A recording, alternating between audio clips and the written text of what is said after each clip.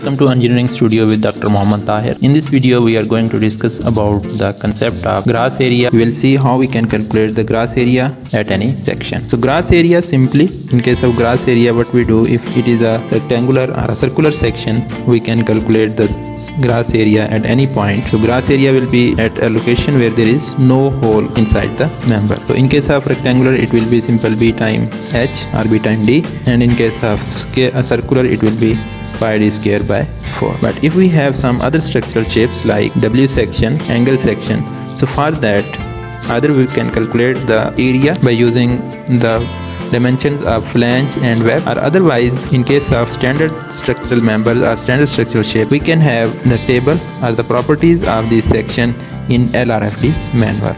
so from there we can find the area of that section